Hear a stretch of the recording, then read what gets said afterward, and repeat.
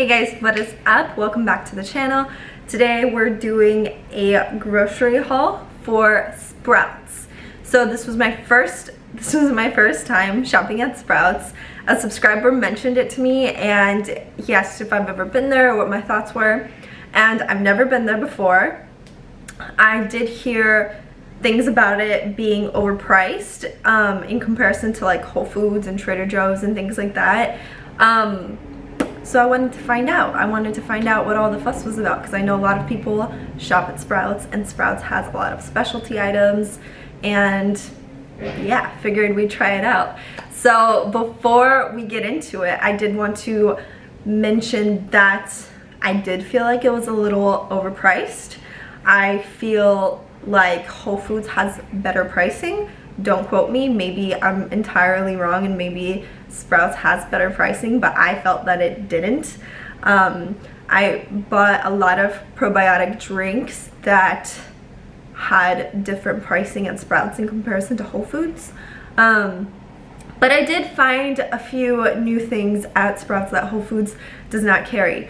So that was exciting and I love going to new grocery stores.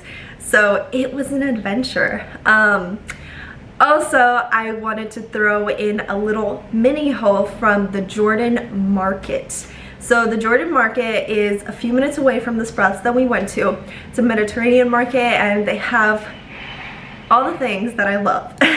they have tons of spices, they have a bunch of hummus, tzatziki, like all of these Mediterranean goodies and I wanted to check it out and we got just a few little things so I figured I would show you what we got um, and let's just jump right in. How do you say thank you in Farsi? Merci. Merci. Okay, merci. What's your name? I'm Romanian. We say, we say merci. All right, so I'm going to start off with all of the Sprouts items that we got. It's not that many. Um, and I'm just going to start off over here actually with the frozen items. So we've got this pizza here. I was actually surprised with their pizza, frozen pizza selection. I thought it would be way bigger, but it wasn't. We only found this one that was actually appealing to us. I think Trader Joe's has a much better frozen pizza selection, so that's that. Um, but this one is Alex's Awesome Sourdough. It's mushroom pizza on sourdough. So that sounds amazing. We love sourdough. And um, the ingredients are actually pretty darn good for a frozen pizza. So very excited to try it. Will keep you updated on how good it tastes, hopefully amazing. And then we picked up some of the Alden's organic ice cream. This one is mint fudge little sandwich. I love Alden's organic ice cream. You guys know we always get the sandwiches. Um, this one I've never had before. It sounds really good. I love mint ice cream. And then this one is vanilla dark chocolate almond. Mihai picked this one out. Sounds delicious and guaranteed it's going to taste phenomenal. And then moving on, we've got some actually salad stuff because we've been eating at Sweet Greens and Mendocino Farms for the last like three days because we've been obsessed with their salads. So I figured it's time to make them at home. So I've just got some like baby kale here and I'm just going to chop it with this baby spinach and baby red butter lettuce. Just looks like this. And we also got some dressings.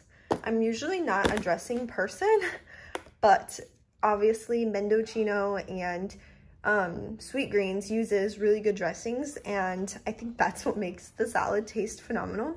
So we've got this one by Bolthouse Farms. It's organic avocado ranch yogurt dressing. It's only 50 calories for two tablespoons and the ingredients are really, really good for dressing. And then um, that one's avocado ranch. And then this one is by Bolthouse Farms also. And it's cilantro avocado yogurt dressing. And the ingredients are pretty good as well. This one, this brand is actually really good. My mom used to always get these all the time, just like the regular creamy ranch. So we picked both of those up for salads. It's going to taste amazing. And then um, I picked up this spicy-ish arrabbiata sauce. You guys know I'm obsessed with making my new pasta recipe. Um, so I figured this would be a good option and the ingredients are very good. I love anything spicy. I also love arrabbiata sauce. I get arrabbiata sauce, I think that's how you pronounce it, from Trader Joe's and it's really, really good. So I think this one will be even better. Then we've got a whole lot of drinks here. So Sprouts did offer like a very good selection of probiotic beverages, but I do think that Whole Foods offers relatively the exact same. And I mean, don't quote me, but I honestly think that Whole Foods is a little bit cheaper. But anyways, so I've got my Poppi drinks. These are my absolute favorite, and this flavor is the absolute best. It's rosemary, raspberry rose. It's delicious if you have not tried it. It's perfect for gut health, and the ingredients are super dang good. So I've got two of the raspberry raspberry rose ones, or rosé, I don't know, because I know this flavor tastes amazing. So I picked up two, and then this one is new. I've never tried it. It's lime ginger. I've been wanting to try this one, so I think it'll be really good. And then this one is totally, totally new. And it actually doesn't have like a flavor anywhere, but, oh, it's peach tea. Oh, Dang, if I had known it was peach tea, I would have probably got like four of these. I love anything peach flavored.